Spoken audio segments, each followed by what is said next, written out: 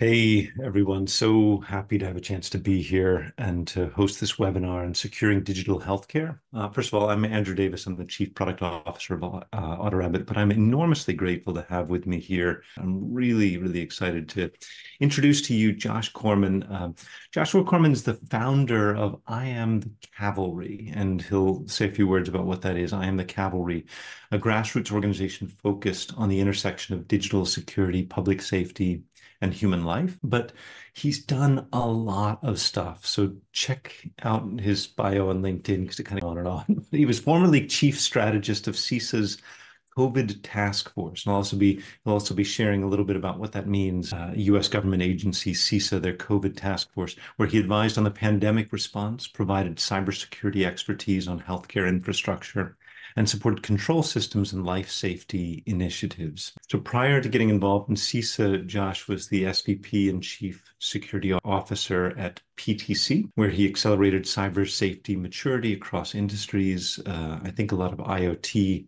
work. So previously, he also served as director of the Atlantic Council's Cyber Statecraft Initiative on the Congressional Task Force for Healthcare Industry Cybersecurity and in leadership roles at Sonatype, Akamai, IBM, and the 451 group. So I am really excited to have a chance to introduce Josh here. I had uh, been a fan of Josh's talks previously, and we we met up again and had a chance to talk at the DevOps Enterprise Summit this fall, and shared a lot of common views on things like the future of artificial intelligence, uh, the risks associated with artificial intelligence, but also just profound concern for how to secure healthcare and secure other aspects of critical infrastructure in this modern digital age. And so I want to introduce Josh and just uh, give him a chance to share some uh, some of his point of view on this. Just as a broad context, what we'll be doing is hearing from Josh on what it means to secure healthcare infrastructure,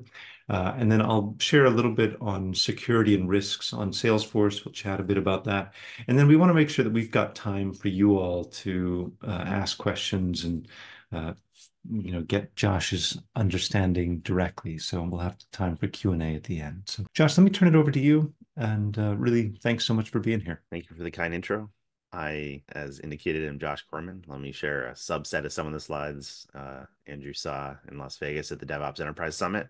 I'm a DevOps Enterprise Summit 1.0 guy uh, and helped Gene Kim with the Phoenix project, but a bit of a midwife to help him finish that book. And I'm very fond of the DevOps Enterprise Summit and DevOps community. You know, took us a slightly parallel path to work on public safety, human life issues over the last decade. So, with that, uh, let me jump into sharing a few remarks to help set the stage as to why Andrew thought this would be a good fit for this community. All right, so I'm the Cavalry is a decade old. We turned uh, 10 years old on August 1st of this year. In recognition that I looked high and low in the federal government and for the adults in the room, I couldn't find any. I said to some of the conscientious hackers that the cavalry isn't coming. No one's going to fix this for us. And that's both depressing and empowering because if you know no one's coming, it falls to us to try to be that voice of reason, technical literacy, a helping hand but generally speaking, I was deeply concerned about the relationship between technology and the human condition.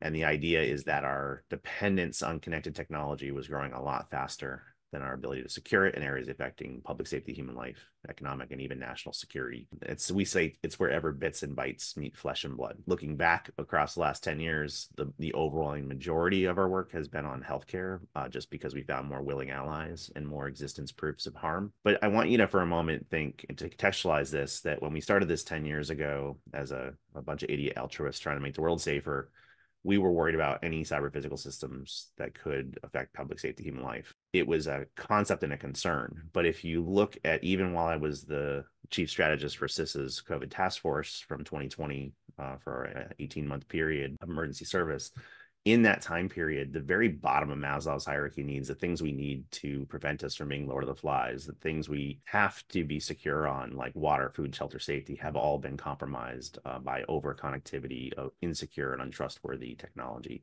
We have had successful compromises of the water we drink, the food we put on our table, the oil and gas pipelines that fuel our cars, our homes, and our supply chains, the schools your children attend, the municipalities who run towns and cities, the federal agencies charged with national security, public safety, and even timely access to patient care with now proven mortal consequences. I repeat, proven mortal consequences. My team helped provide the first statistical proof of loss of life, and we'll show that quickly. So a lot of this build up and trust building happened well before the pandemic. Um, I was asked, uh, I was trying to lean in and learn the love language of the medical device community, of the hospital community, and they don't care about security and vulnerabilities. They don't have money or time to deal with it. I think ten years ago. What we did find is uh, a seminal piece of peer-reviewed academic journal uh, in New England Journal of Medicine showed that if you have a heart attack in a U.S. marathon city, during a US marathon, you have a significant elevated mortality rate within 30 days. And they attribute this to going around the runners in the running route uh, had a 4.4 minute longer ambulance ride. And people would say, well, what does this have to do with cybersecurity, Josh? And I said, well, nothing and everything, because what we've learned is degraded and delayed care for time sensitive, latency sensitive conditions like heart, brain, and pulmonary affect mortality rates irrespective of cause. So time matters. Uh, for strokes, it's called the golden hour or golden hours, or one, three, or four hours could be the difference in if you walk again and talk again. So time is brain. Uh, a lot of this empathy building and love language got me named to a Congressional Task Force for Healthcare Industry Cybersecurity. Our report published in May of 2017 during Mother's Day weekend when Congress had their advance copy. And many of the things we warned about were punctuated by the WannaCry virus uh, and ransomware taking out 40% of UK health capacity. Only a few weeks later, NotPetya did, a, did some damage to US. So a couple highlights just to see what the world looked like in July, uh, June of 2017. We said healthcare is in critical condition then pre-pandemic and our top five reasons uh, is that our estimate is that out of the 7,000 hospitals in the US, uh, 85% of them lack a single qualified security person on staff. So they're really starting at a disadvantage. It's often a head nurse playing the role of designated information security officer. So small, medium, and rural tended to have no one.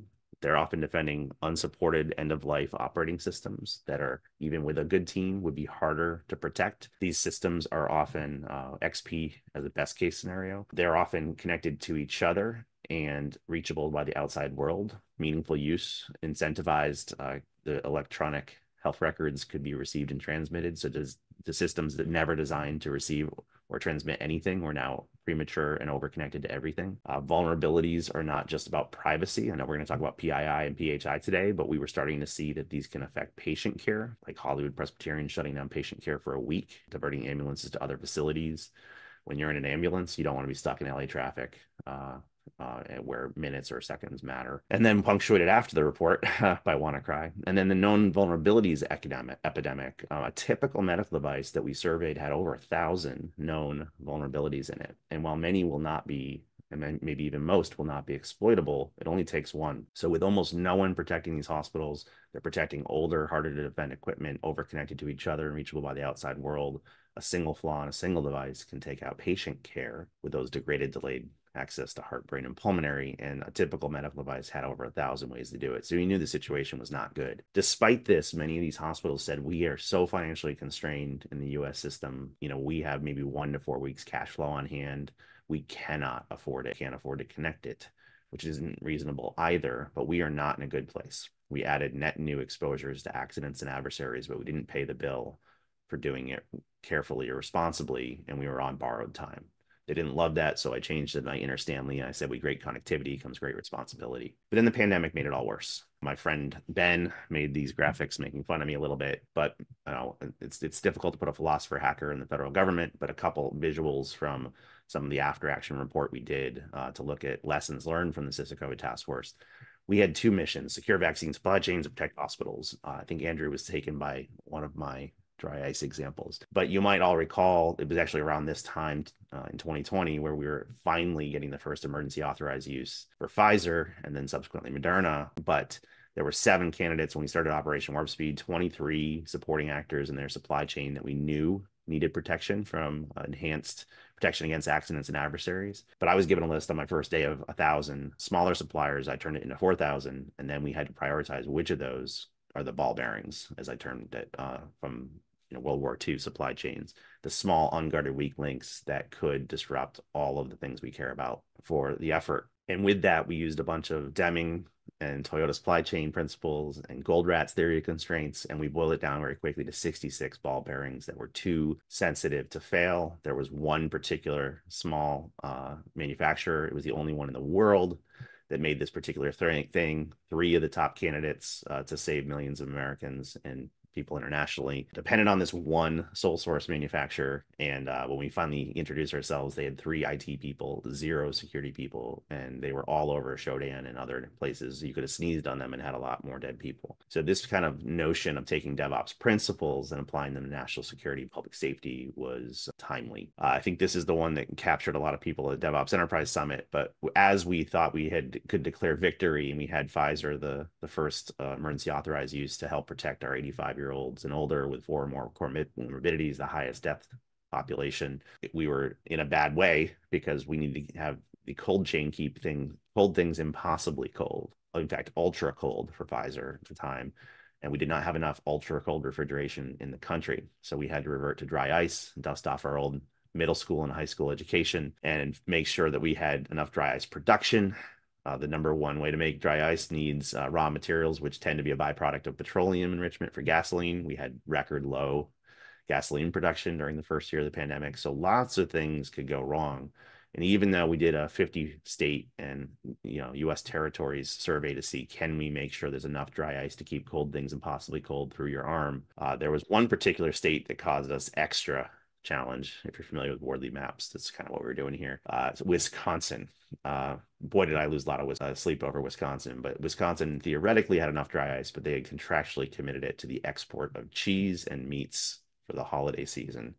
In fact, just yesterday I got a shipment of meats as a gift with uh, dry ice in it, uh, rubbing it in my face. So I uh, I have some scorn for uh, the additional risks to loss of life in Wisconsin. But similarly, let's pivot to hospitals, uh, which is most of the attendees today when you talk to hospitals, especially under emergency situations, you know, what do we all want? HHS, uh, citizens, HDOs, or health delivery organizations want to keep people alive. How do you do that in value chain mapping? It comes down to your constraint is your carrying capacity, which is a coefficient of the three S's. This is their love language, not mine. And as a cybersecurity guy and tech guy, I had to learn that these are the three S's they care about space, supplies, and staff. If you give them $5 million more, they're not going to buy security. That's not the fourth S. They're going to spend it on the constraint of space, supplies, and staff. Why? Because if you have a building with 100 beds of space, you don't have a 100 bed capacity if you only have 80 staffed beds. And you don't have 80 bed capacity if you only have supplies for 60 of those 80 staff beds. So that's where they spend their money. Now, during the pandemic, we had record high strains on that. In fact, in certain parts of the country, we still do and uh, those things further reduce your total available carrying capacity. So I enhance this model in two ways, given my work in cybersecurity and Goldratt theory constraints and all the DevOps lessons I learned from folks, including Andrew. I looked at it's not just keeping people alive. What are those time sensitive, latency sensitive uh, conditions? In fact, I'm going to show you a study in a minute on the data science we did, but we could see that at the one year mark of the pandemic, when the US had lost 500,000, half a million of our fellow citizens to COVID we had also lost another 150,000 excess deaths from non COVID conditions. And unlike COVID deaths, these were 25 to 44 year olds as the fastest growing demographic. I had an inclination, and I was right, that these were time sensitive conditions like heart, brain, and pulmonary, where t- minutes or hours are the difference between life and death. And when you put a latency sensitivity lens on it, it's not just having capacity, it's making sure that people have the timely access to care when they need it and where they need it, or people die. The second way I enhanced this is I looked at medical technology. A nurse in a neonatal intensive care unit in 1990 could handle one to three babies safely concurrently the nurse to patient ratio was about one to three. Armed with technology and modern medical technology and connected technology, it is a force multiplier. A nurse now can look at 12, 15, 18 babies concurrently via remote nursing stations. So our carrying capacity went up. So if medical technology is a force multiplier of staff, then the unavailability of that is a force divider. And now you had a very dangerous and unsustainable nurse to patient ratio under this duress from either ransomware or other forms of unavailability. In fact, this is exactly what happened. So on October 1st, two seminal moments happened for healthcare that have changed the liability, the regulatory, and the risk management postures for all of you and your customers. On the front page of the Wall Street Journal, we were we learned of a baby who had lost their life, a named victim, in a, a ransomed hospital in, in 2019 in Alabama. The baby had a complicated birthing condition, but because the ransomed hospital continued to admit patients and did not have access to imaging, they could not tell there was an umbilical cord wrapped around the baby's neck. And while the baby was successfully born in a complicated delivery, in the natal, natal intensive care unit, we need a dozen or more connected technologies now to assist these nurses in the, the delivery of care. And when they are unavailable uh, to help in that care, the baby, the patient is what suffers. So this is still going through the courts, but there's exchanges between doctors and nurses that are not too good. So they'll either lose it or settle. And this just really punctuates how dependent we become on that connected infrastructure and how costly it can be, not just in dollars or breached uh, records or fines, but in patient outcomes. Similarly, on the same day, we published the first statistical proof of loss of life in this poor report called Provide Medical Care as in Critical Condition. Without going through all of it, we had done some data science on the first one year of the pandemic independent of cybersecurity. And what we could see is that those 150,000 excess deaths had strong positive correlation to a leading indicator called ICU strain. So adult intensive care unit bed populations above 75%. Once you hit 75%, you would see 18,000 dead Americans in two weeks. If you hit 80, uh, 100% capacity, you would see 80,000 dead Americans depicted by this curve. So a very aggressive growth in the rate of preventable, avoidable loss of life simply from having excess ICU strain from elective procedures, from uh, uh, transferring nurses out of state from transferring patients in state. The second way we could see loss of life uh, is uh, from ransomware. Ransomware can make it worse. So, what we could see in the state of Vermont, for example, we studied in the same pandemic with the same population, adjusting for hospital type and size. The ransomed communities achieve these excess death stress levels sooner and stay there longer than their peers, as resulting in columns three and four but also even ambulance diversion and next proximal alternative care, sometimes in the neighboring state of New Hampshire where I live, or Massachusetts, even further away. That additional transfer above 4.4 minutes started to elevate uh, loss of heart patients, and anything over an hour started to affect outcomes for stroke. So we have acute and, and proximal elevated loss of life and statistical excess deaths two, four, and six weeks later that were verified by state level data. So when people start dying, Congress starts listening and political will starts forming. And I testified to the Senate last May, uh, which ultimately resulted in the Patch Act uh, passing into law, which granted ma- mandatory minimum cybersecurity for medical devices. And now they're considering what they're going to do for mandatory minimum hygiene for hospitals themselves. So back to Maslow's, we don't want to mess with Maslow's hierarchy of needs. And when everything in critical infrastructure is critical, nothing is. So while we have 16 critical infrastructure sectors, we better measure them by these 55 national critical functions. And as an experiment, I tried to show the federal government that you can't treat all 55 as equal. But if you map them vertically to latency tolerance, where shutting them off for minutes or hours could lead to loss of life and mass casualties, there's only about 10, to 12 things like uh, provide medical care, things like supply drinking water, generate electricity, produce chemicals, emergency response, and these uh, command a greater level of attention than they have historically uh, incurred. And moreover, for medical, the first among equals is really provide medical care because if you don't have water, if you don't have electricity, if you don't have chemicals, you don't have a hospital. And and as the hospitals further suffer from disruptions to any of those, whether it's the IT failures or industrial control systems and, and cyber physical systems failures, the resulting deaths also affect the workforce for water and wastewater, for longshoremen, for truck drivers, for chemical engineers. And these have a vicious cycle. Uh, that we're kept taking too many Americans from us. Now, one of the things in common for most of these hospitals and most of these vaccine supply chains were that they were what I call target rich, but cyber poor. They were very attracted to adversaries and they knew they'd pay, but they had very insufficient education, uh, incentives, and resources to rise to meet this new scourge of ransomware.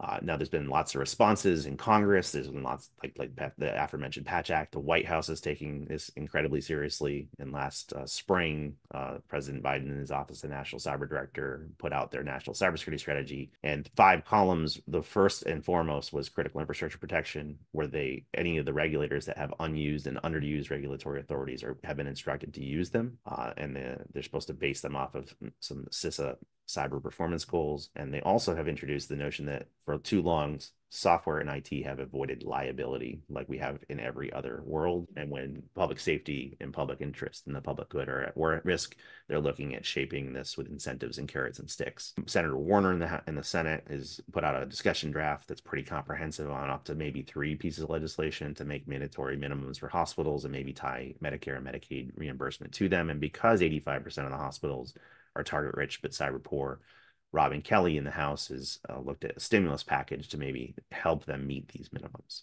So raising the bar, but also helping them.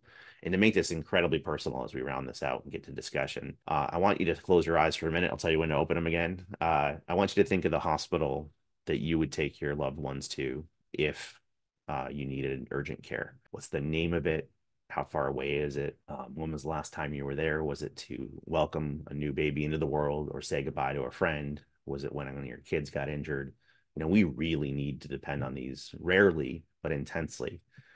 Now, I want you to open your eyes. What if that hospital was unavailable to you? Where would you go next? Is it across the city? Is it the next town over? Is it the next county over? And what if that one is also owned by the same company and has also been affected in the blast radius that ransom? Because several hundred times a year and counting, we are seeing disruptions at US hospitals with no signs of slowing. And you may not get timely access to care.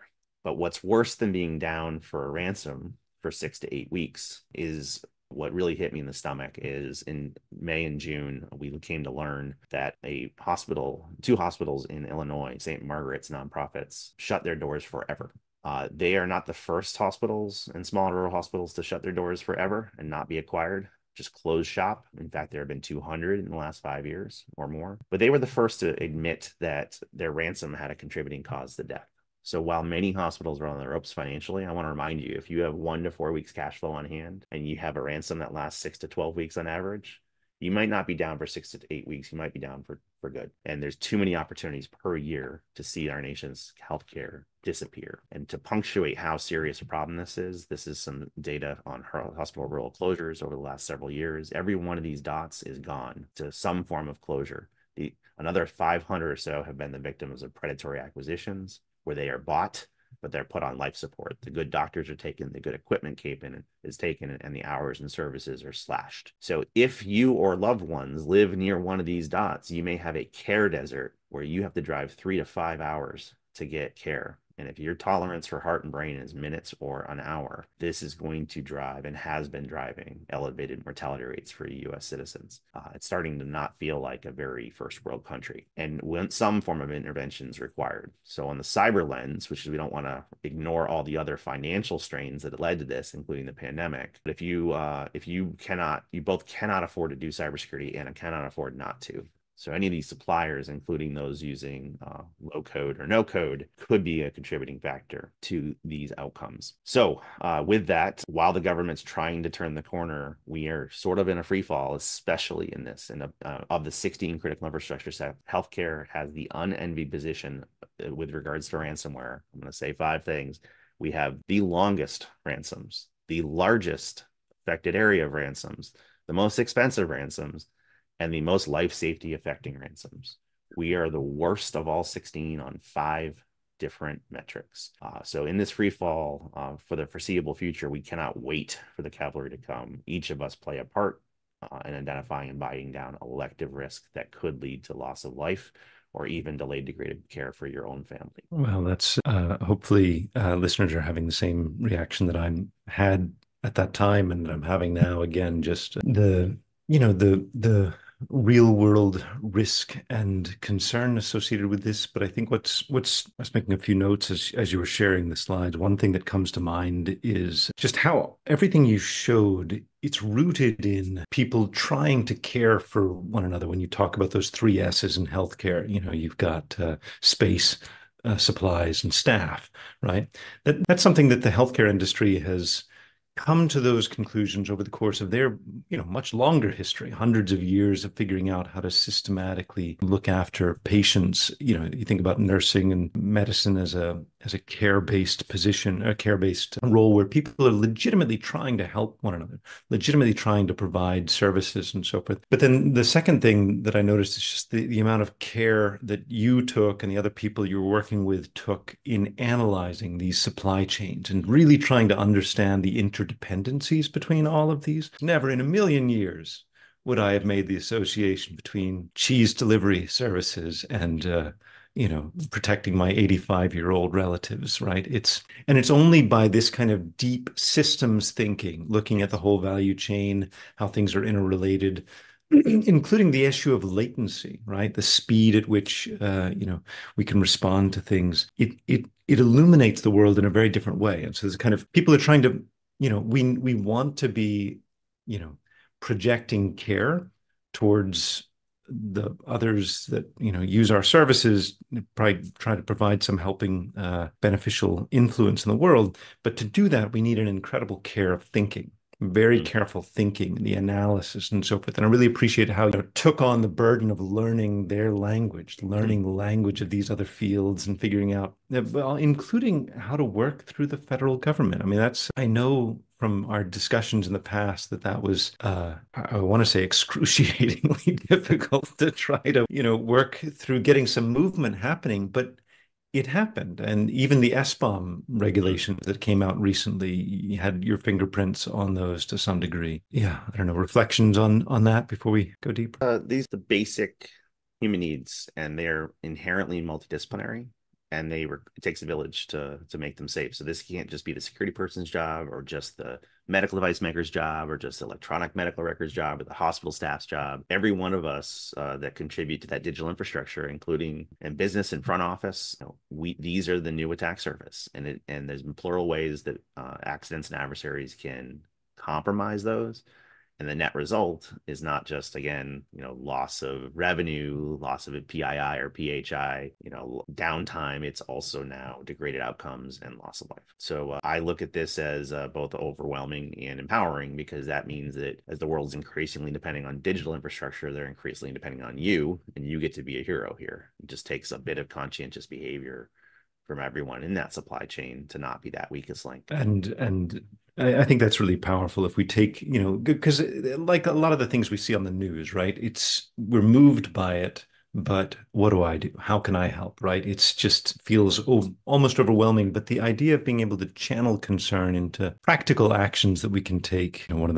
the you know famous ones is just you know password security for everybody. You were mentioning this story about how you know a recent uh, what the there there was something with a default password, a bit of uh, oh, control sure. equipment with one one one as the default yeah, password. The uh, when I showed those the slide of water and wastewater being hacked, I was referring to Oldsmar, Florida, and some other uh, facilities in California. But uh, even recently, you may recall in the news that some water and wastewater treatment facilities in Pennsylvania were hit. Some Iranian hackers attacking Israeli companies uh, mm. hit a particular piece of equipment used, and we just learned in the last week or two it wasn't very sophisticated hacking. It had a password of one one one one. So um, if you can reach out and touch someone for like stealing credit cards, that's unfortunate. When you can reach out and touch someone and shut off clean water supply or add poisonous levels of lye to the reservoir, as happened in Oldsmar, this is serious business. Yeah, tons that we can we can think about. So I, w- I wanted to take us to the second uh, part of the webinar, which is talking a little bit about security in the low code world, and yeah. I, I was definitely uh, struck by the comparison when you talk about these you know small regional hospitals with no security people on staff that's it's understandable right? It's a specialized set of skills you know security people they're hard to find often and it's but more to the point it's not set forth as a priority for most organizations. It's something that we want to kind of ignore until you begin to get some of these things you mentioned about uh, liability that starts to get the attention of people who make decisions primarily uh, for financial reasons. So, you know, although some of that machinery of like what you, can you be liable for and going to court and so forth, it's got this dreary bureaucratic feel to it it actually does drive behavior it is part of the engines that mm-hmm. that can help to to enforce behavior we're we're operating uh you know i i come from the Salesforce development world, as do probably most of the listeners. You know, we're operating in a different part of the different part of the economy, so to speak, where um, typically there's you know we're not dealing with life and death issues directly by any means we're dealing with but we are dealing with things like pii personally identifiable information and increasingly on salesforce with phi personal health information and we also have our own supply chains we also have uh, in a sense, we're we're security poor, like you said about uh, being healthcare poor. We're security poor. Where I, it was only maybe last year that I met my first full-time Salesforce security person at a company. It was a, at a mm-hmm. very, very large, well-funded company, but he was a dedicated Salesforce security specialist. And I'm like, really? You know, he has like a CISSP certification and you know, because there's not that many Salesforce security specialists. And but where we sit on the supply chain, increasingly, when you you said, you know, if you can't afford to protect it, you can't afford to connect it. But increasingly, people are connecting Salesforce to the public internet, mostly through uh, communities, Salesforce communities, and they're doing so without necessarily thinking through adequately the um, you know all of the security controls. This uh, Krebs report uh, circulated quite a lot in the spring of this year, where the original researcher had created a tool to find vulnerable sites and found something like 250 of these vulnerable Salesforce communities and tried to systematically reach out to people, but couldn't get people to respond. Right? It's like an you know an unsolicited email comes in and you're like ah whatever. Uh, and Brian Krebs picked up this story and reached out, you know, tested and found that the DC Health Department was also leaking social security numbers and a lot of, you know, sensitive data for people. And so he, you know, reached out and fortunately was able to get somebody's attention. But the this original researcher said he found I think 230 vulnerable sites, but he was afraid to probe too much more deeply, presumably because he was afraid of getting, you know, himself accused of trying to hack Salesforce by I don't know want to comment on that? Uh, you know, the ethical hacker's dilemma. Yeah, I mean, I think while we weren't preparing to have this this part of the chat, I think one of the legacies of the I am the cavalry movement for the last ten years is we were born in the kind of contemporaneously with probably the peak of fear of hackers, hmm. especially after the Snowden leaks. And I think hmm. one of our deliberate missions was not only do we want to make the world safer, but this could be a great way to show the value of good faith hackers. Hacking is not criminal, it's magic. There's good wizards and bad wizards. You need Hermione and Harry and Gandalf to fight the darkness. And we have these legions of helpful hackers who use their powers for good to find and help you buy down elective risk. So we really help to decriminalize research to promote things like coordinated vulnerability disclosure. Part of that patch act that we passed in the law last December requires that medical devices have a coordinated vulnerability disclosure program, inviting hackers acting in good faith to report issues. So I think the tide is turning, but what this tells you is like the bad guys collaborate, the bad guys are acting with impunity we want to avail ourselves of all willing allies. So whether you're writing applications for business or for healthcare or for something else, uh, you too can make sure that you can cast a wide net and uh, invite actors in good faith to report issues to you without fear.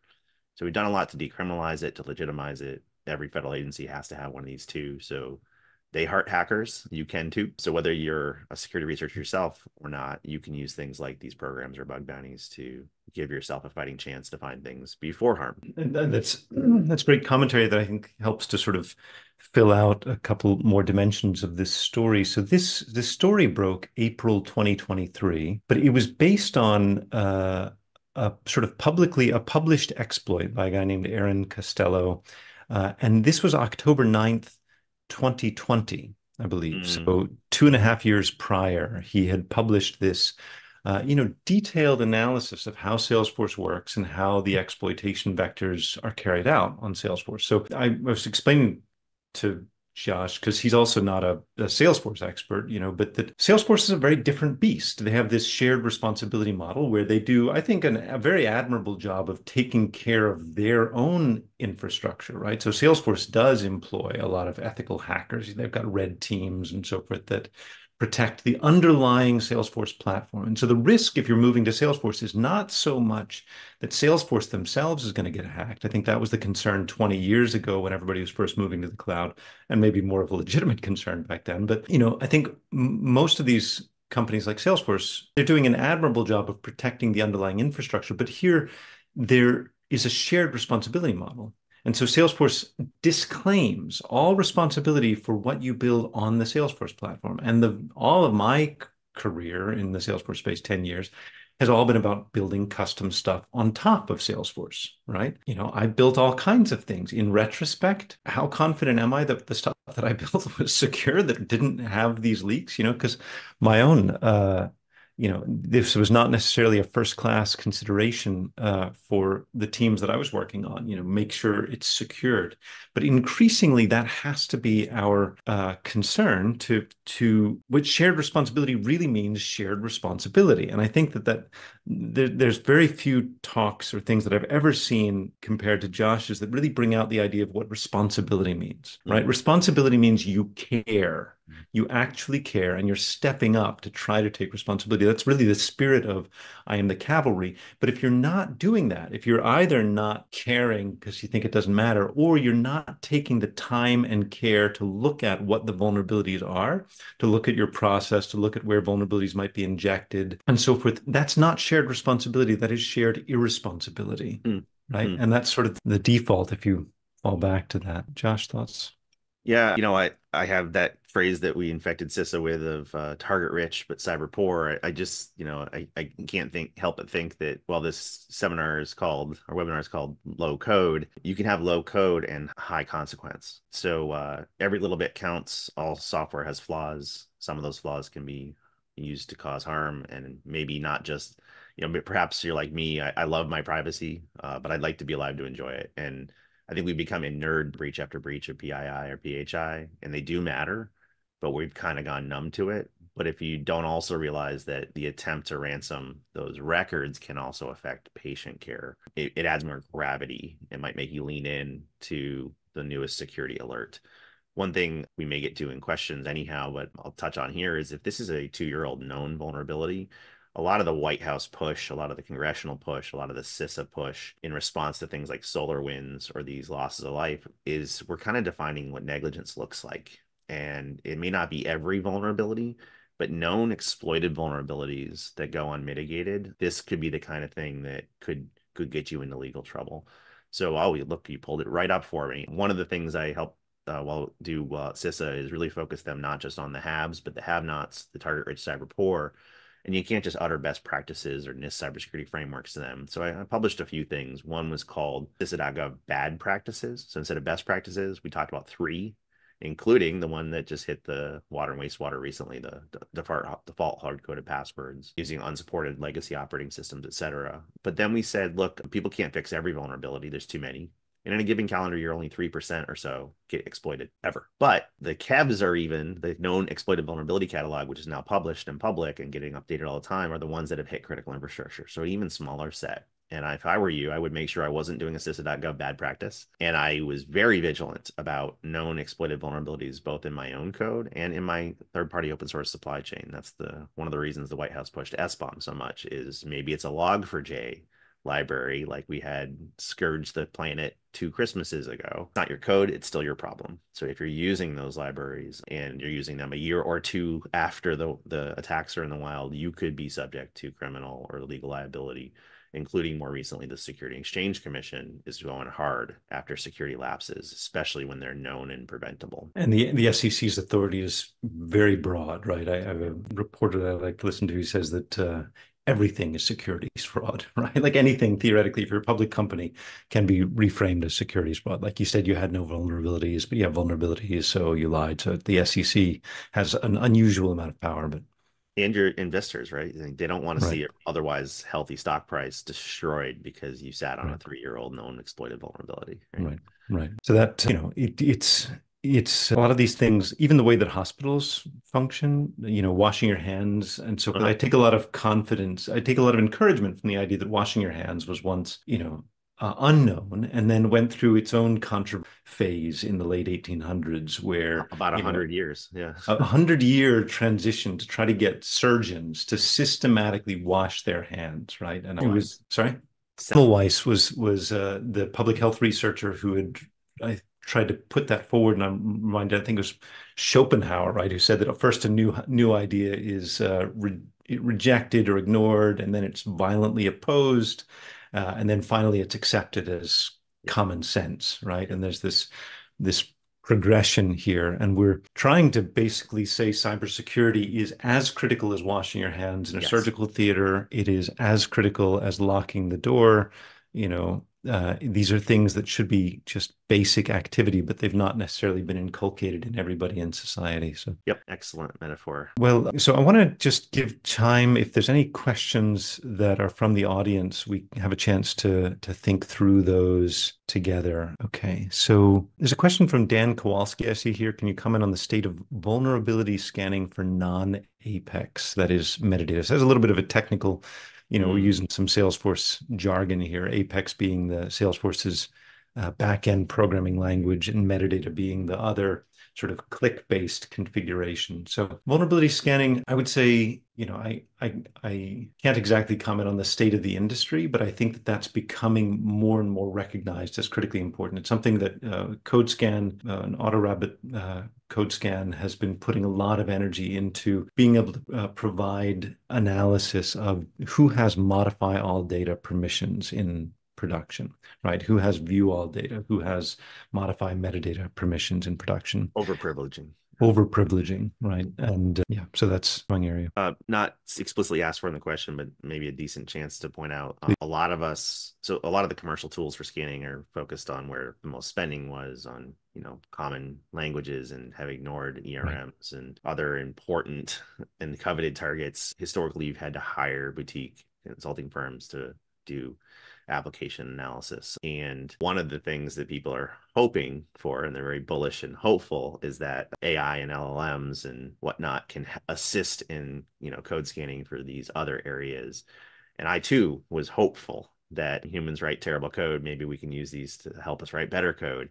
Uh, but I've recently seen uh, four uh, peer-reviewed academic papers showing that because the models uh, for things like Copilot or ChatGPT were trained on public repos of open source where there's lots of security flaws, it's kind of a garbage in, garbage out which I guess makes sense. But you could ask it follow up questions like how many CWEs are here? How do I avoid you know san- unsanitized inputs? I think the scarier part though is many of the answers to those questions are invalid and incorrect. So I, I would say that while eventually we may be able to train these models to write more secure code, they are best poised for really stable well-known knowledge domains and cybersecurity and secure coding is not yet one of them so if you are hoping that uh, the embrace of those will obviate the need to do some of this uh, good faith research or leveraging helpful hackers. It's not there yet. And I'm going to be vigilant about not being over dependent on a false sense of security where it's hallucinating security instead of providing it. Not asked, yeah. but perhaps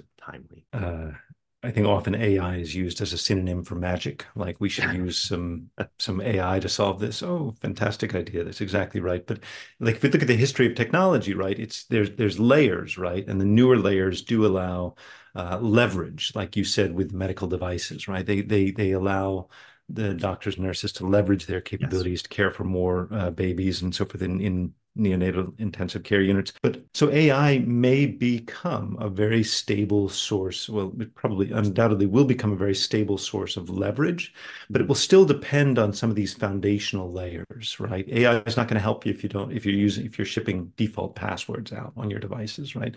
Yeah. And so the idea of being able to, if you have AI generated code, you have to be able to scan that as you're deploying it to production. For example, if you're not doing the standard security checks on code, whether it's AI generated or human generated, you're you're yeah. exposing yourself to vulnerabilities. Also, as the daddy of SBOM, I, I also co-chair a weekly SBOM meeting with CISA. We're going to do it later today. And a common misconception is that, well, we're cloud native SBOMs for commercial off the shelf software, you know, traditional. Uh, a, not true, but B, you're not exempt from the executive order or the regulatory, uh, the growing number of regulatory things asking for SBOMs.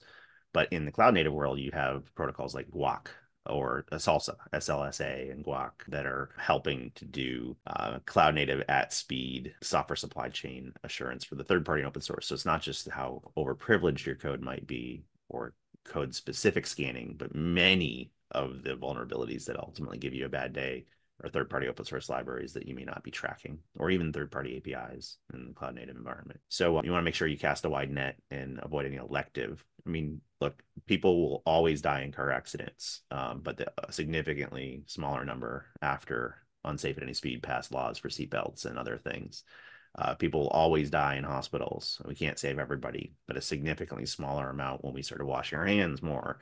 And further, another significant amount when we avoid elective attack surface and disruption from sloppy coding in the clinical environment. So you play a small but vital role in ensuring uh, that we don't have elective disruption, elective loss of life. Whether you viewed your role that way or not, uh, you can be part of the solution. And those may be the the perfect words to end on, but are there any other final thoughts you want to offer to the low code community who's, you know, maybe hadn't had security as a first class concern mm. in their mind, but uh, my my immediate last thought in the moment is uh uh, many, many years ago in response to the Agile Manifesto, some of my friends and I wrote the Rugged Software Manifesto. Mm. It's just 10, 12 lines that just say, look, uh, I'm not going to do it from heart, but uh, you can look it up at ruggedsoftware.org. And the Rugged DevOps community kind of embraced it too.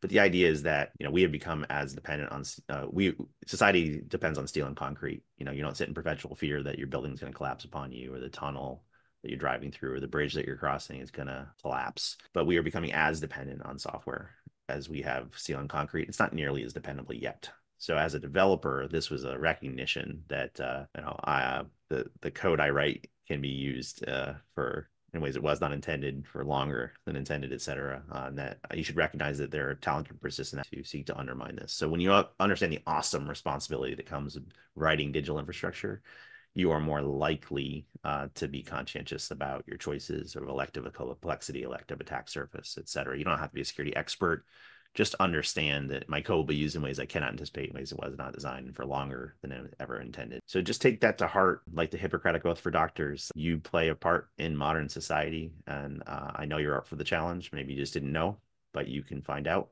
and uh, you can help us make the world a safer place. Love it. Thank you so much, Josh. Really, really, really grateful for your time here, and so glad to have a chance to introduce you to to our community and the work that you're doing. So, um, thanks so much. Thank you.